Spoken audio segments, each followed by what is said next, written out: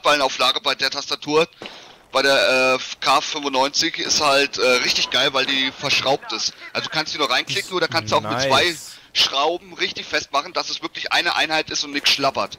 Das wäre perfekt für mich, weil bei mir gehen die immer kaputt, diese Handballenauflagen. Nee, der hat, das habe ich auch, da macht sie mal Knack und das war's. Ist bei der nicht. Und die Handballenauflage ist gummiert, also die ist richtig schön. Okay, nice, ja. Okay. Und bei Maus und bei der, wert. und, und, und bei der Maus, bei der äh, M65 ist es auch geil. Seitlich das Plastik ist rau, dass du richtig perfekten Grip hast. Und obendrauf ist wie so eine Gummierung, aber das ist keine richtige Gummierung, die sich durch Schweiß ablöst, sondern das ist nochmal eine andere Gummierung bei der, die so resistent ist. Und das ist ein richtig geiles Gefühl. Also du hast für links und rechts, wenn du schiebst, die Maus richtig roh, für gute Halt in der Hand. Und für oben Bequemlichkeit hast du die linke und die rechte Maustaste wie so Gummierung. Das ist Okay. geil. Mhm. Und was auch noch richtig fett ist, das Mausrad ist auch Aluminium. Das müsste aber bei der G700 auch sein. Ja, das ist auch mittlerweile so. Die haben ja auch ähm, die G7, also die S-Reihe, die haben ja komplett ihr Repertoire, alles überarbeitet, auch die alten Mäuse und haben einfach überall ein S dran gehängt äh, und haben ja überall neue Materialien und sowas verwendet. Und bei der G700S ist es jetzt auch so, wie du gesagt hast, eben, ähm, die haben an den Seiten so raue Oberfläche gemacht, dass du eben besseren Grip hast. Und oben auf der Maus direkt ist zwar auch so wie so ein geriffeltes, das ist kein Gummi, das, ja, ich habe keine Ahnung, was das ist, aber das so geriffelt ist, weißt du, dass du nicht unbedingt wegrutscht, aber trotzdem noch weich drüber fahren kannst. Das finde ich eigentlich auch ziemlich nice, Ja. deswegen habe ich da halt auch zugeschlagen. Ich war auch am überlegen, ob ich jetzt wieder Logitech nehme. Damals die 700S war ja im Überlegen, da habe ich gesagt, aber scheiße, brauchst eh eine neue Tastatur. Und du willst unbedingt eine mechanische mal haben. Ja. Logitech hat ja auch eine, Mecha eine Mechanik. Ja, ja, die Ding, aber äh, wie gesagt, ich wollte aber auch eine, wo nicht mehr so Plastikgehäuse ist, sondern wirklich mal Qualität. Ja, Mein Logitech ist gute Qualität, das ist gar kein Thema. Wird auch ein paar Sachen, was auch wie, äh, wenige Leute wissen, für Raumfahrt benutzt. ja, Gerade was Joystick und den ihre Steuerung ist mit den Lager. Das sind die Schweizer einfach Welten voraus. ja klar. Aber da muss man sagen, da hat Corsair gut mitgehalten bis jetzt, weil die Tastatur ist einfach nur hammergeil. Du drückst die Tasten doch nicht mal richtig, da wird der Befehl einfach ausgeführt, also der verschluckt keine Befehle. Eben durch die mechanisch, durch die Sherry-Technik, ne? Ach, scheiße. Deswegen ist aber auch die mechanische, weil früher äh, habe ich ja gesagt, warum zahlst du 130 Euro für die Tastatur? Da ist dann immer wie bei Logitech äh, Display dabei. Das heißt Ja. ganz einfach. Erstens mal ist die Tastatur voll Aluminium. Das Grundgestell. Zweitens ist es die alte Sherry-Technik. Das ist mechanisch. Ja, und was ist der Unterschied? Sag ich, äh, Rubber Dome hast das Problem, die funktionieren am Anfang nur gut. Dann drückst du irgendwann mal weh, wunderst dich, ey, warum geht das mal nicht? Sondern nur nach dem zweiten oder dritten Druck. Dann sind die scheiß Matten ausgelutscht. Dann dauert sie wieder, bis sie ein wenig hochkommen, So geht's um den nächsten meiner, Befehl anzunehmen. so Und das hast du bei einer mechanischen nicht. so geht's mir momentan bei meiner G19, dass ich manchmal so das Gefühl habe, dass sie irgendwie Genau, deswegen bin ich von meiner annimmt.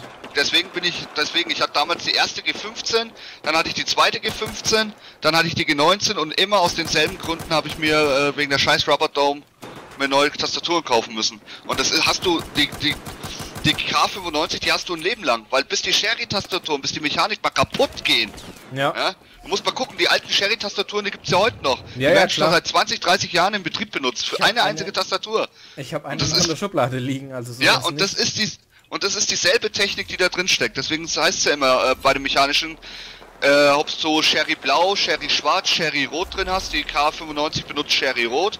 Das sind halt die Widerstände, ne? wie gut Ja. es sich drücken lässt. Ja, mal gucken, weil den, den Bildschirm, du hast absolut recht. Ich habe den, glaube ich, seit neuestem benutze ich ihn fürs Teamspeak. Äh, da gibt's für G19 ein Plugin mittlerweile. Ja, aber da Mittlerweile vor allen funktioniert der Dingen- 15er Plugin besser. Da hast du zwar schwarz-weiß und nicht so schön Farbe, aber er funktioniert besser.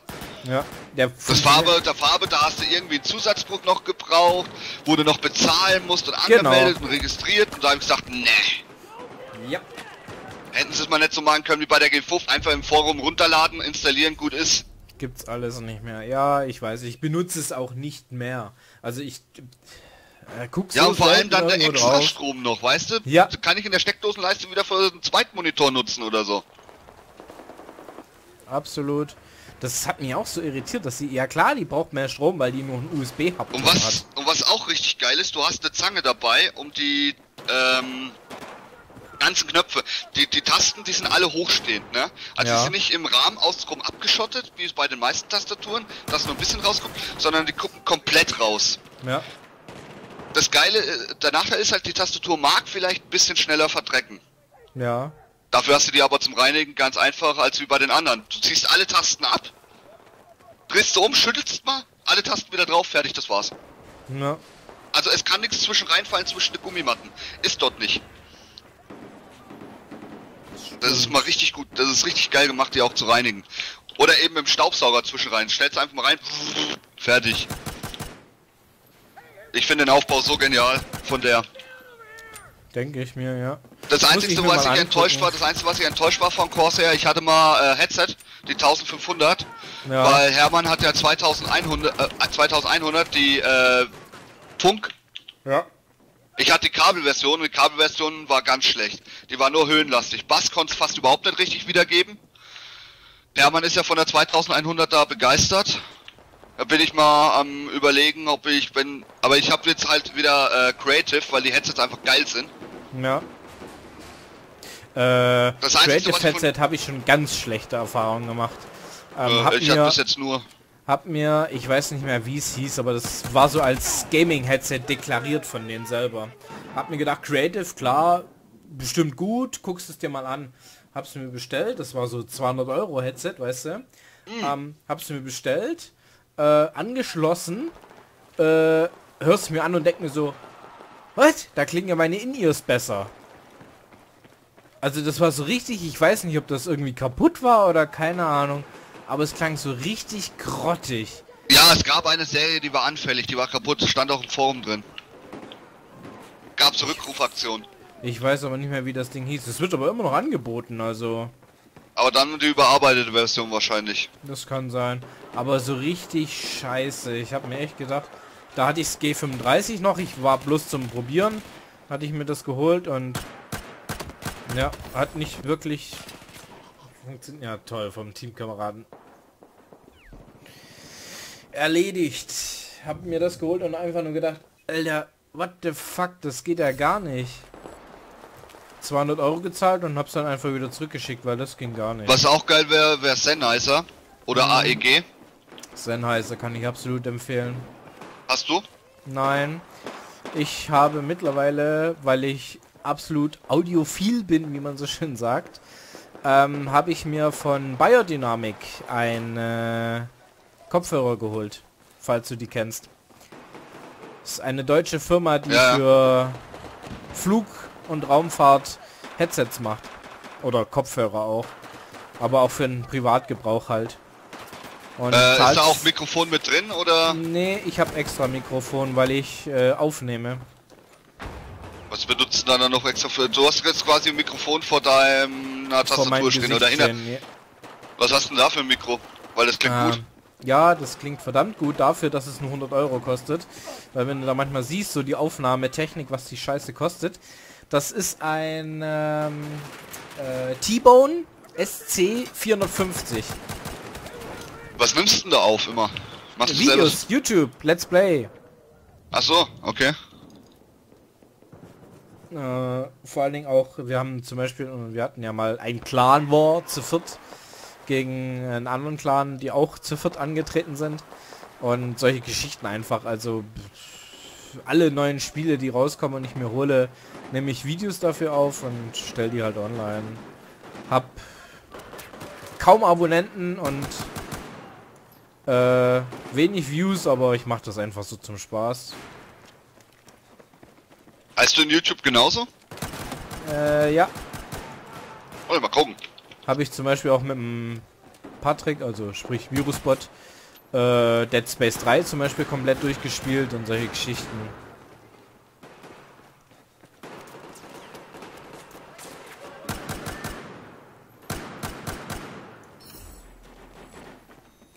Na, so langsam komme ich rein. Das macht auch vor einer Weile ganz viel Spaß. Weil es einfach mal ein anderes Team Deathmatch ist, da hast du mehr Movement. Ja. Au, au, au, au. Was hältst du von Titanfall? Titanfall, mh, man merkt natürlich COD ist, ist irgendwo drin. Ich habe die Beta. Ist ja auch von den, ist ja, ja auch von den, ich, ich habe die Beta das, verpasst. Ja, das meine ich. Ich, äh, man merkt einfach, dass COD-Entwickler irgendwo mit drin stecken. Es macht Spaß, es ist absolut schnell und äh, die Titans geben dem Ganzen auch noch so einen gewissen Kick. Ähm, Wie viele verschiedene Waffen hat man?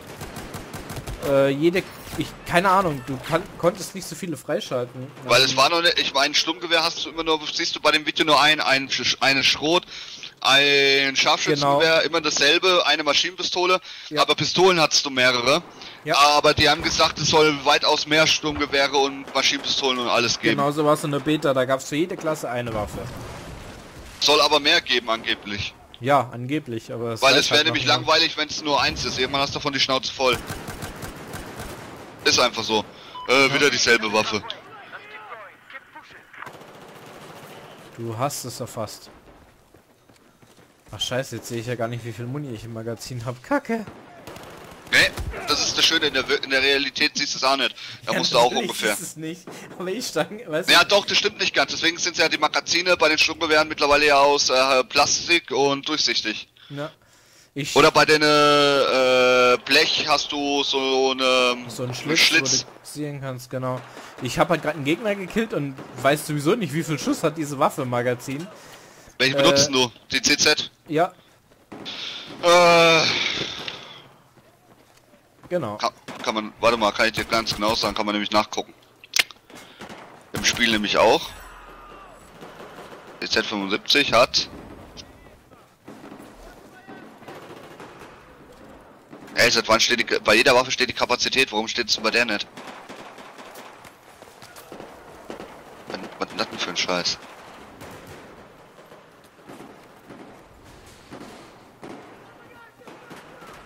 Schaden, Präzision, voll.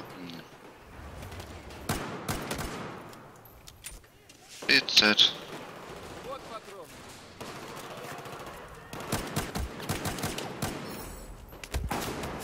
Ah.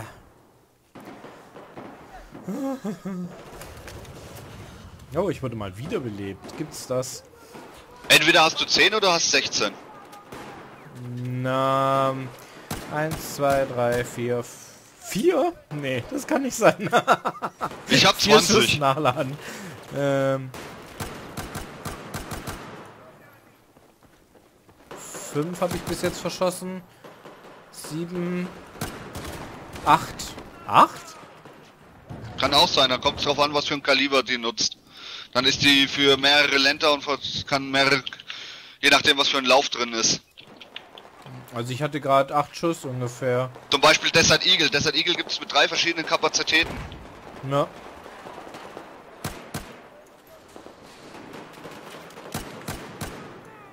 Ah, ich bin immer so verleitet, eine Granate zu schmeißen. Ah, da hat nur noch 5 Kill in einer, bitte, ich will Hilfe bei Kill. Fix nochmal. Ist doch. Immer mit das gleiche. F also, ja, dafür, dass ich mit der FN 57 spiele, ist, bin ich ganz gut dabei. Die musste echt mal ausprobieren. Aber weißt du warum? Okay. Also da ist mit Bam Bam weiterrennen ist da nicht. Da musst du wirklich die 20 Schuss machen schon Sinn. Dann werde ich sie mal probieren. Viel Spaß. ich habe auch am Anfang gedacht, so schlimm kann es doch gar nicht sein, also.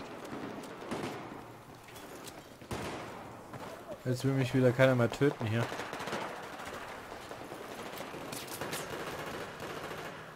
Da musst du richtig schnell klicken. Ah. Ah. Ah, nice. Triple Kill. Na, die CZ ist schon cool. Gefällt mir. Ah, jetzt hat mich endlich einer.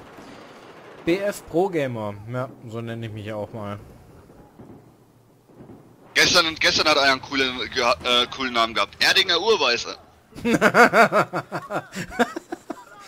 äh, nice. Dann hatte ich bei, dann hat, äh, äh, genau, in, in, in, World of Warcraft hatte ich auch mal einen coolen Spieler gehabt, der hieß der Schokoladentankstelle. Oh je, ich frag mich manchmal, wie die Leute auf solche Namen kommen. Da. Genauso auch, genauso, genauso auch Cur- Currywurst mit Pommes und all so ein Scheiß. Also es war richtig geil. Oder frisches Bier vom Fass. Hm, Wie man den Namen allerdings reinkriegt, habe ich mir auch gedacht. Äh, es ist nicht ein wenig lang, aber okay. ich weiß gar nicht, wie viel Zeichen äh, man benutzen darf, kann. Hä? Da lag gerade eine Granate. Hä? Ja gut, ich sag mal, wenn Granaten verboten sind, Blend und äh, Rauchgranaten darfst du immer benutzen. Ja, Ja, macht wobei Blend auch Schaden. nicht immer. Weil Blend macht ja auch ein bisschen Schaden. Wenn du voll getroffen wirst, bist du ja kurzzeitig blind und verlierst, glaub 25 Leben. FN 57? FN57, ja. Ja, nee, die CZ hat 12 Schuss Okay. anscheinend. Oh, die sieht aber süß aus. Federal Nation, bla bla, das ist eine belgische Firma. Belgium. Genauso wie die F2000, das ist auch von FN. Die Scar wird von FN produziert, wird aber auch in Amerika und in der Frankreich hergestellt, je nachdem für, ein- für einen Einsatzzweck tut das entsprechende Land herstellen. Oh Gott. Ähm, die P90 ist noch von FN. P90 auch? Ja, P90 ist dieselbe Munition, die du gerade bei der Pistole verwendest. 5,7, deswegen heißt die Pistole auch 557. Alter, die ist ja voll übel. Die macht ja null Damage. Ja, aber, nicht. aber weh, aber, aber das, wie gesagt, ist dieselbe Munition, aber weh, du verschießt die Munition mit der P90, dann geht's ab. Ja. Ja, die schießt ja auch schneller. So, und mit der Pistole spiele ich auch im Normal Mode. Pistol only. Da bist du nur noch auf Kopf fixiert. Kopf, Kopf, Kopf, Kopf, Kopf, Kopf. Lernst das Ziel.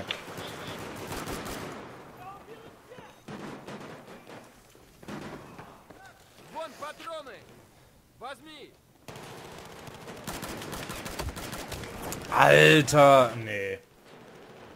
Geht ja gar nicht. Meinst wenn ich mich freue, wenn ich alle Battle Packs mit hab? Da spiele ich lieber mit der CZ weiter oder Magnum. Selbst Die- Magnum treffe ich besser und mach. Da, da Also- treffe ich irgendwie besser. Mit der Magnum bin ich voll noobig. Mit der Magnum treffe ich gar nichts, dann wäre ein Scheunentor. Ich habe letztens die. Oh, scheiße, wie heißt die? Rex, Ja, die Rex. Da ging ich letztens so ab. Ich habe die Rex einfach reingenommen, weil ich keine Ahnung hatte. Da war gerade das Shortcut für die Pistolen draußen. Hab ich einfach mal die Rex reingemacht. Rex, Rex ist eine russische, äh, ist ein russischer Revolver. Ja. Wird Ich aber eigentlich von denen im Inland nicht benutzt, deswegen heißt die auch Rex.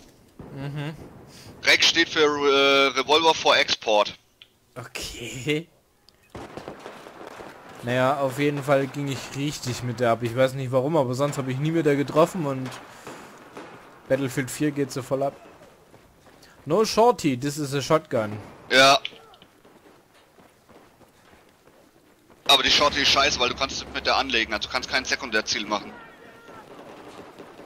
Hm, Granaten sind wohl doch erlaubt, ha? Ich probier's nicht aus, ich habe keinen Bock meine Punkte zu Na, verlieren. gerade eben hat er eine geschmissen. Da muss man auf den gelben Text achten, ob er gekickt worden ist deswegen oder nicht. Aber wie gesagt, ich will's nicht riskieren. Meine ganzen Kills dann wieder flöten. Die zählen bei mir nur, wenn die Runde zu Ende ist. Alles klar.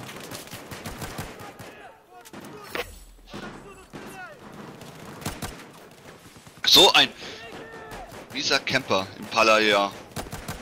Campt oben in der Halle auf dem Panzer. Manche campen auch ganz oben auf dem Kran.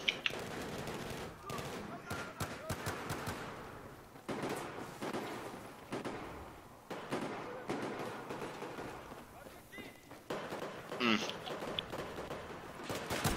Dann ist einer Raketenwerfer, die können alle nicht lesen. Die drücken auf jetzt spielen und dann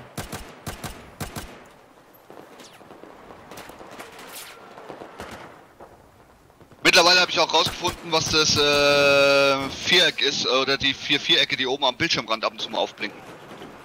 was für Vierecke.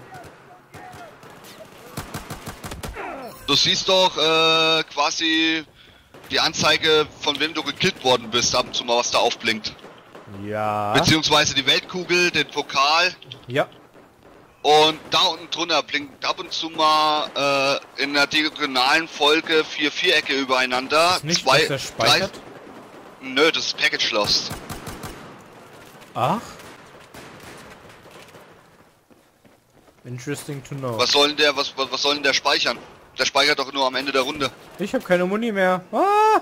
Wo bist du? Ich geb dir. Ich hab selber, danke. Na, du bist Versorger, ne? Ja. Hollywood Endlos Magazin.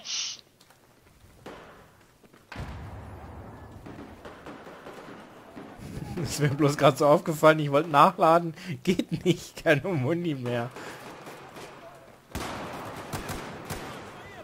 Lol.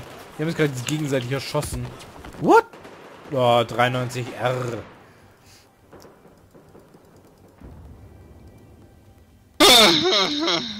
Wow, wow, wow.